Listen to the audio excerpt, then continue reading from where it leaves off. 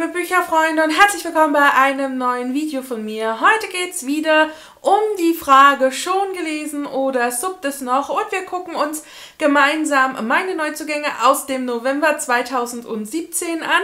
Und es sind wohl 31 Stück gewesen, äh, zumindest der Zahl nach in meinem Bullet Journal.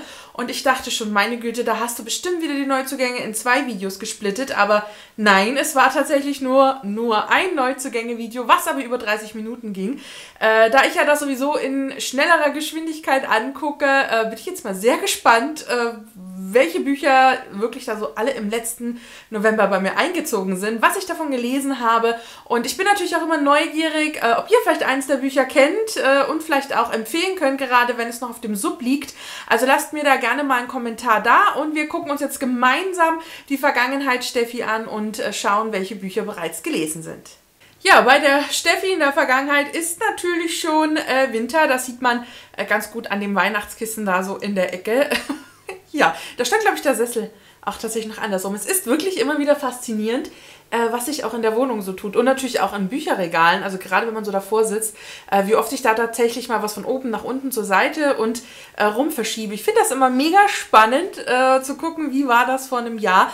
Und natürlich auch die Bücher, die sind natürlich sowieso das Interessante, was da eingezogen ist. Und ähm, ja, aber es hat schon äh, bei mir geweihnachtet. Was, glaube ich, auch ganz klar war, war ja der erste Advent sehr früh war, wenn ich mich recht ans letzte Jahr erinnere.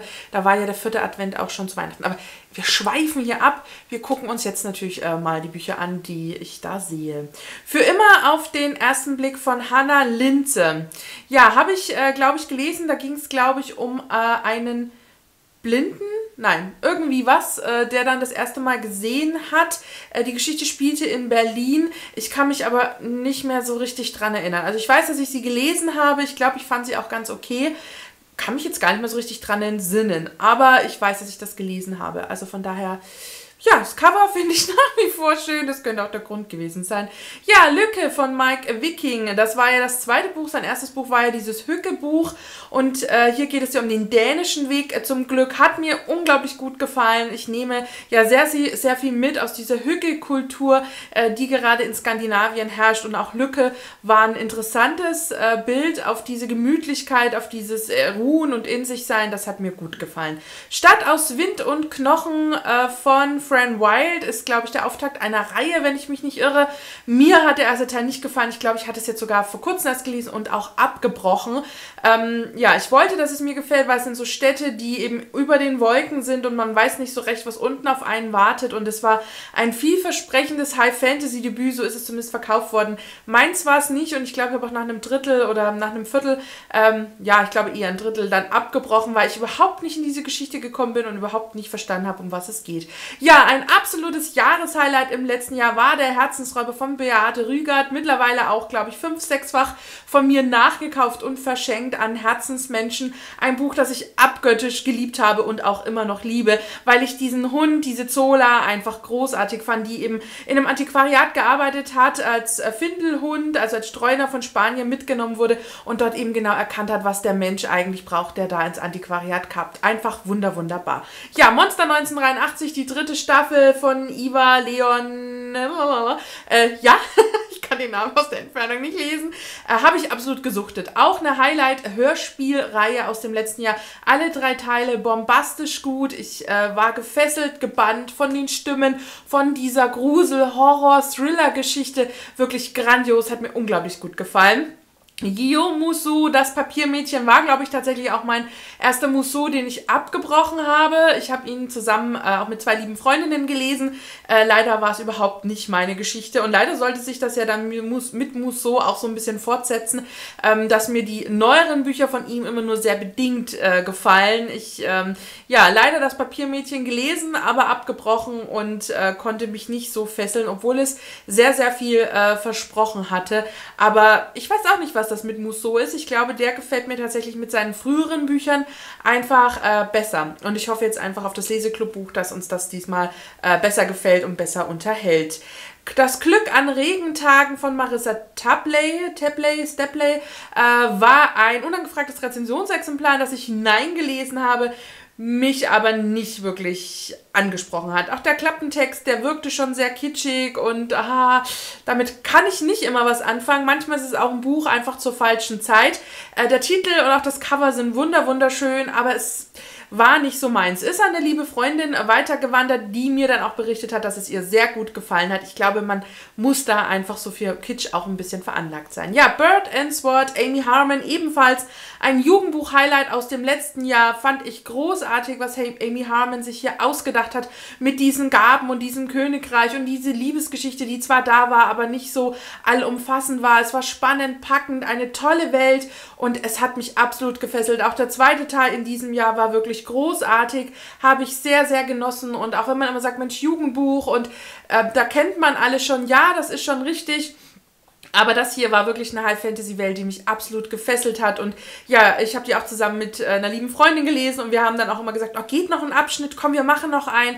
Und wir hatten es dann viel schneller durchgelesen als eigentlich geplant. Und auch der Austausch, Austausch war so toll und ich fand die ganze Reihe einfach wirklich Hammer. Hat mir sehr, sehr viel Spaß gemacht und ja, auch dieses, diese ganze Welt und auch wie die beschrieben wurden von Amy Harmon, dafür, dass sie ja vorher eigentlich eher erwachsene Lebensgeschichten geschrieben hat, äh, wirklich eine Hammer-Jugend-High-Fantasy. Fantasy-Reihe.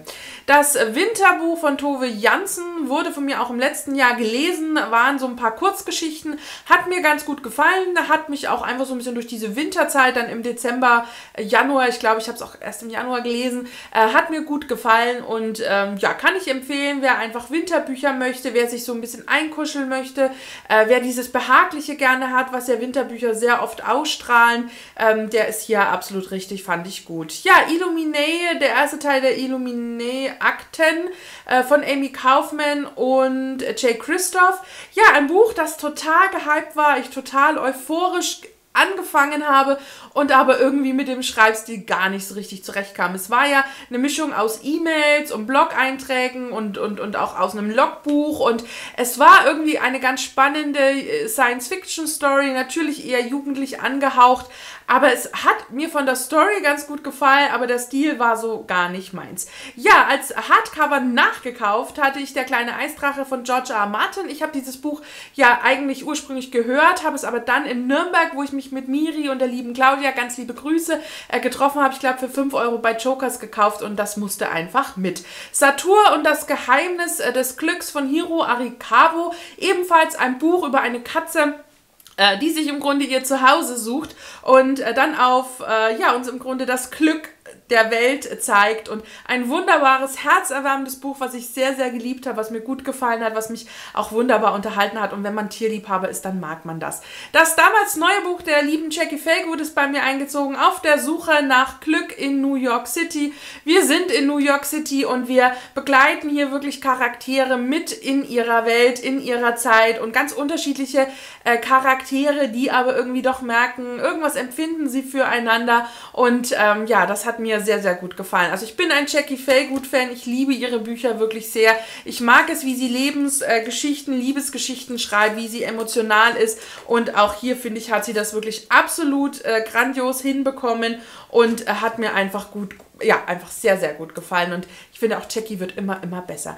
In ewiger Schuld von Harlan Coben ist bei mir eingezogen und ich habe tatsächlich schon ein paar Harlan Cobens gelesen. Ich glaube auch, dass in ewiger Schuld dabei war. Ich äh, kriege die gefühlt gar nicht mehr so richtig auseinander. Es könnte sogar mein erster Harlan Coben gewesen sein und der ja dann damit spielte, dass eine Frau, wenn ich jetzt nicht die Geschichten aus durcheinander werfe, eine Frau im Grunde eine Kamera entdeckt, wo ihr toter Mann zu sehen ist. Also es war wirklich irre gruselig und ähm, ja, war ein geiler Thriller. Ja, Margaret Atwood alias Grace, oh Gott, ich hinke hinterher, ich darf nicht so viel reden. Ähm, eine großartige Serie, ein Hammerbuch, was mich wirklich gefesselt und gepackt hat.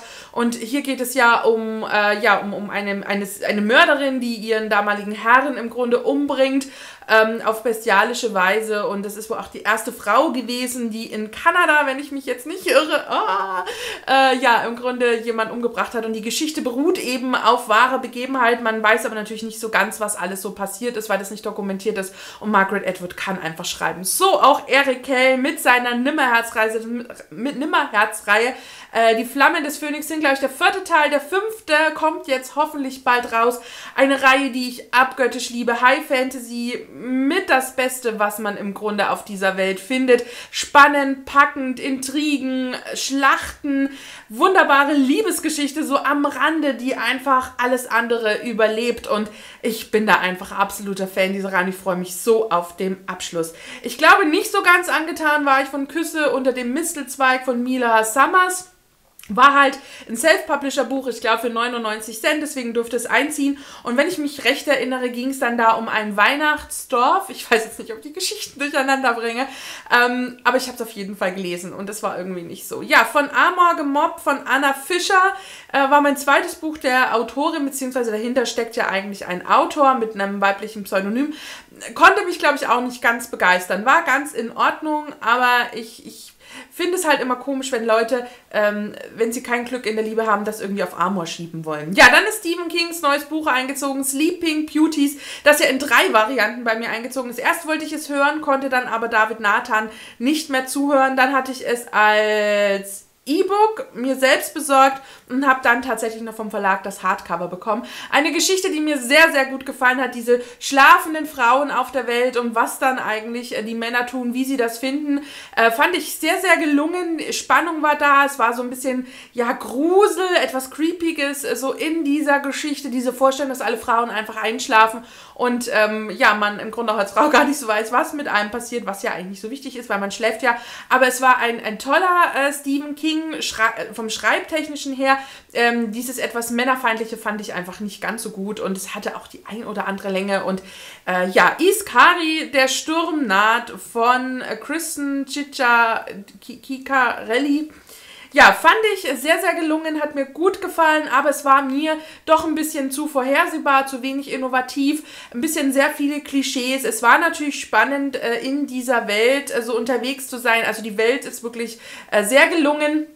Aber die Rahmenbedingungen waren irgendwie nicht so richtig meins. Deswegen habe ich, glaube ich, auch den zweiten Teil äh, bisher gar nicht in Betracht gezogen, den zu lesen. Es war okay, aber ich musste persönlich jetzt einfach nicht weiterlesen. Die Sherlock-Reihe hat begonnen, das, oder geendet. Das ist der dritte Teil der Sherlock-Mangas. Ja, es ist der dritte Teil. Äh, hier ist ja der Manga-Stil analog der BBC-Serie, die ich ja abgöttisch liebe. Ich liebe Benedict Cumberbatch als Sherlock Holmes. Einfach grandios. Und äh, auch die Mangas fand ich wirklich großartig, weil man einfach Zeit hatte, die einzelnen Szenen in der Serie nochmal so vertieft hineinzugucken. Fand ich einfach Hammer. Mir haben alle drei Bände der ersten Staffel sozusagen gefallen, denn die Bände beziehen sich auf die jeweiligen Folgen einer Staffel. Und ähm, ja, ganz begeistern konnte mich ja jetzt der junge äh, Moriarty leider nicht. Ähm, ist nicht ganz meins gewesen, aber ich bin gespannt, ob es mit dieser Sherlock-Manga-Reihe dann einfach weitergeht. Ja, ich habe eine Rebuy-Bestellung äh, gemacht und hier habe ich mir bestellt Wie Buddha in der Sonne von Hannah Dietz. Wurde mir irgendwie empfohlen, ich weiß nicht mehr so richtig von wem, habe ich angefangen, abgebrochen, war überhaupt nicht mein Humor.